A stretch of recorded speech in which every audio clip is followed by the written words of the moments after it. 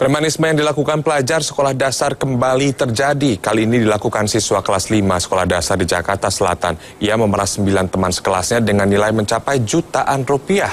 Korban terpaksa mencuri barang dan uang di rumah mereka masing-masing karena diancam akan dipukuli pelaku. Berdasarkan pengakuan para korban yang tak lain teman dekat pelaku, pemerasan dilakukan N siswa kelas 5 SD ini sudah terjadi sejak satu bulan yang lalu. Korban mengaku uang hasil perasan senilai ratusan ribu rupiah ini dipakai oleh pelaku untuk bermain di tempat-tempat mewah. Aku store ke dia. Setiap hari nggak tuh, Sah? Enggak, jarang.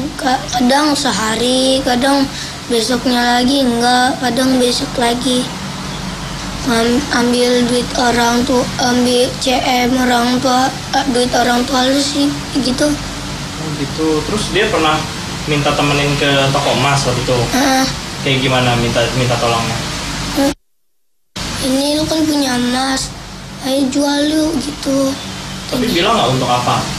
Untuk buat main berenang gitu di PIM. Namun kasus ini baru terungkap setelah orang tua para korban curiga karena barang dan sejumlah uang di rumah banyak yang hilang. Selain kehilangan harta benda, para orang tua korban juga curiga dengan perubahan gelagat anak-anak mereka.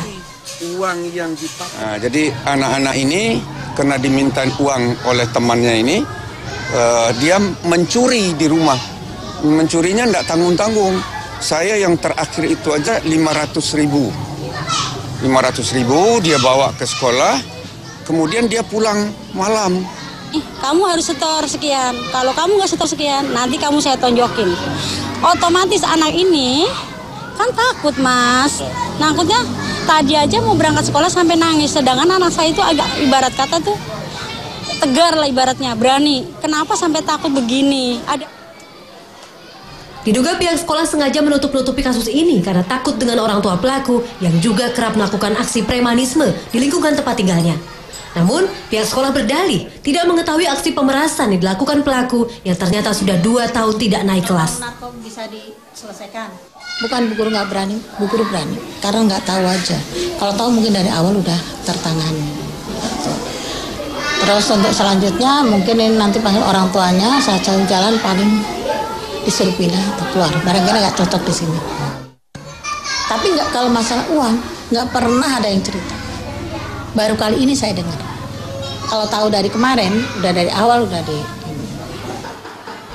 Hingga saat ini pelaku dan korban masih mengikuti kegiatan belajar mengajar. Orang tua korban dan pihak sekolah telah sepakat untuk meminta N dipindahkan ke sekolah lain agar tidak mengganggu kenyamanan siswa lainnya. Sementara itu pihak sekolah juga masih mencari pihak lain di luar sekolah yang diduga terlibat. Rivo Pahlevi, Kuntur Arbiansyah, Jakarta.